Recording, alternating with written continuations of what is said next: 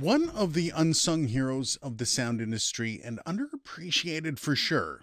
This here is the Heil PR40. And today we're going to pit it against all the usual suspects that are in and around its price range. This should be fun and uh, it's going to be a whole lot more editing for me, I think.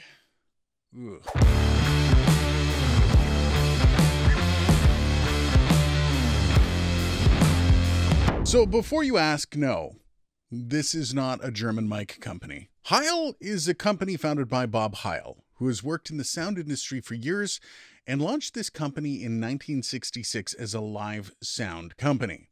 Now, most of his first work was servicing auditoriums and bowling alleys in the St. Louis area, but soon moved on to live concert sound. It was February of 1970 that the Grateful Dead were supposed to play in St. Louis, and their sound guy was up on some drug charges and couldn't leave the state of California. Ah, the 70s. Someone offered Bob Heil's name up as a person that could work it for them, and the show ended up being a wild success, all because of Bob Heil's technique. Heil's life basically took off after that. And after the tour was over, Bob Heil ended up touring with The Who, Joe Walsh, Peter Frampton, Jeff Beck, just to name a few of the biggest names in the 1970s. So this guy, yeah, he knew his stuff. In fact, there is so much more to his story. You might want to check out some of the backstory on him. It's amazing how he worked and how he got around to doing what he did. So then, around 1980, Bob quit touring and decided to get into microphones, all because of his other interest, ham radio. And of course, that led to the first Heil microphone being born. One other really cool piece of information on the company Heil Sound is also the only manufacturer to be invited to exhibit at the Rock and Roll Hall of Fame. It's pretty cool. Now, the one thing that separates Heil's microphone is that they use a large 1 and 1 8 inch capsule on their dynamic microphones. Now, these have been in on the mics since day one and have helped launch the whole line of PR mics. Now, the one we have is the Heil PR40. And yeah, it's kind of gotten buried by all the other broadcast mics like the SM7B and such.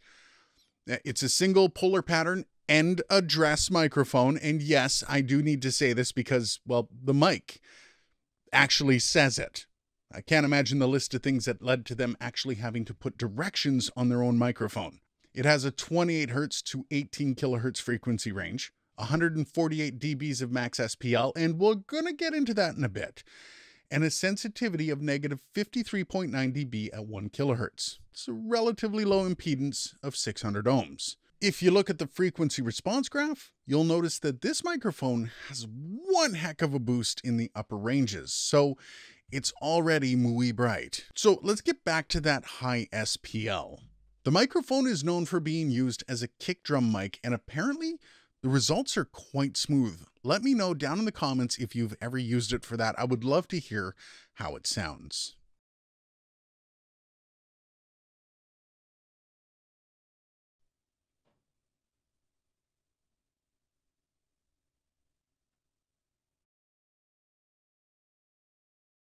Now, I can't imagine the off axis rejection and coloration test is going to go well since, well, you know, they actually published the frequency response that includes 180 degrees on the mic. So let's see what happens. This is the microphone about six inches from my face directly onto the capsule. This is 90 degrees to the side address of the capsule.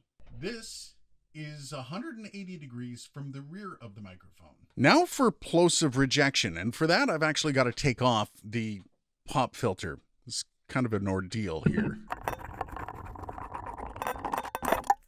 Peter Piper picked a peck of pickled peppers.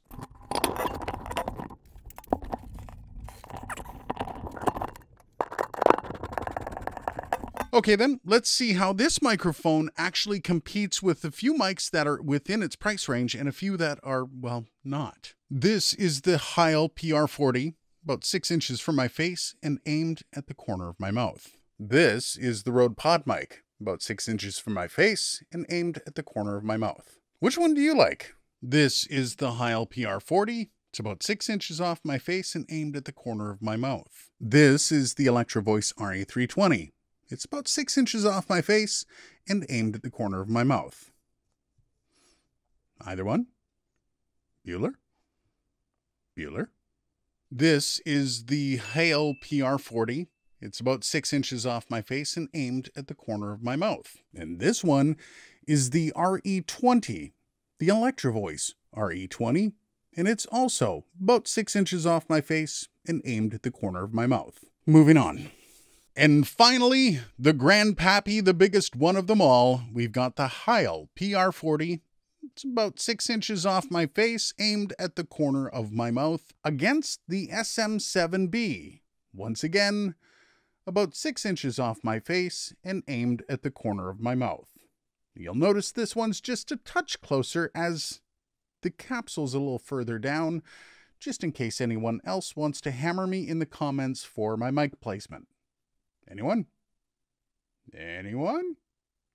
Moving on. So I guess time for some final thoughts.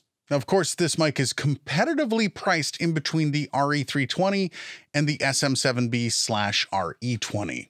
On one side, you do have the RE320. It's about 50 bucks cheaper. And I believe the SM7B and the RE20 go for about 399. But then, is this mic any good? Well, yeah. It's a great mic. It sounds great. For me, anyways. This is the catch with mics in this price range. Very few of them are going to sound great on everyone. And I think this mic is the perfect example of that that high presence boost from about 1K to 10K on this thing isn't going to complement every single voice. And that's a big issue, perhaps why this mic hasn't seen as much action with podcasters. There are a lot of other mics that are more forgiving of different voices, much like the RE20 and the SM7B. This one, though, is a bit more picky about the voices it wants to elevate. I've heard this actually make voices sparkle, and others sound like dog crap. So, yeah, if you're in the market for a great broadcast style mic, put this on your list to try out. You never know, it might fit you like a glove. But what did you think of the sound? Let me know down in the comments. If you like this video, crush that like button like the cockroach it is. If you really like the video though, give that subscribe button a little wink and a smile. Make it feel special. You better call it in the morning though. Sorry. Cheers, and I'll see you in the next video. having my own sound engineer would be nice.